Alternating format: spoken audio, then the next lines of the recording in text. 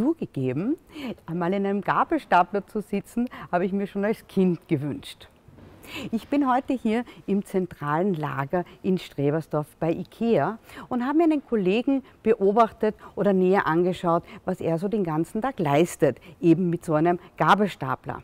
Und da ist mir aufgefallen, dass er sehr, sehr oft ganz nach oben hinaufschauen muss und den Nacken sehr überanstrengt bzw. hinaufschauen muss und dass man dann am Abend sich nicht ganz wohl fühlt und Nackenverspannungen empfindet, das kann ich sehr gut nachvollziehen. Und deshalb habe ich mir heute überlegt, euch ein paar Tipps zu geben, was ihr dagegen tun könnt. Denn Nackenverspannungen sind nicht sehr angenehm und können zu starken Kopfschmerzen, aber auch zu Übelkeit und sogar Schwindel führen. Und das wollen wir natürlich nicht. Ich möchte euch vier Tipps mitgeben, was man gegen Nackenverspannungen tun kann. Erstens, und das ist meine, mein Lieblingstipp, ist massieren. Wenn irgendwie möglich natürlich von einer anderen Person, einer zweiten, dann kann man so richtig gut entspannen. Aber es geht auch selber tief hinein massieren, das lockert die Muskulatur.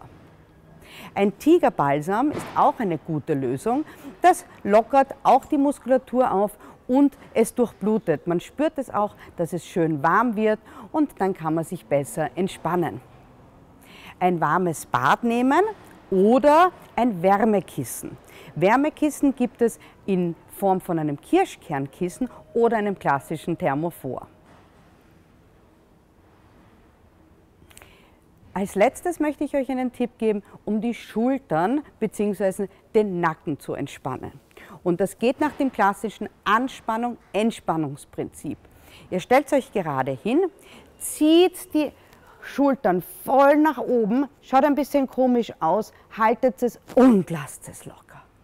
Und noch einmal hochziehen, hochziehen, halten und wieder locker lassen. Und das macht ihr drei, vier, fünf Mal und locker lassen. Und natürlich Bewegung, den Nacken in alle Richtungen. Dann spürt sie auch schon wieder ein bisschen mehr Beweglichkeit und es geht euch sicher gleich besser.